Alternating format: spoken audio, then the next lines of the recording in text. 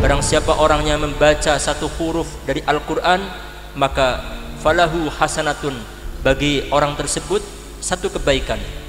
Wal hasanatu bi ashri amthaliha Satu kebaikan dilipat gandakan oleh Allah Menjadi sepuluh kebaikan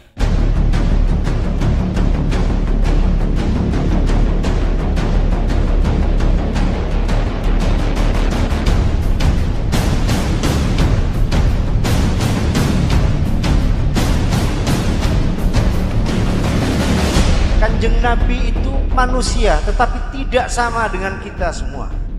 Siapa orang saya membeda mulut munceng ke tetangga na materak kenangan baca maulot kaji ki buruk pagi kak dinto bekal dibangkitkan sarang kelompok saya pertama eki kak dinto para nabi bermana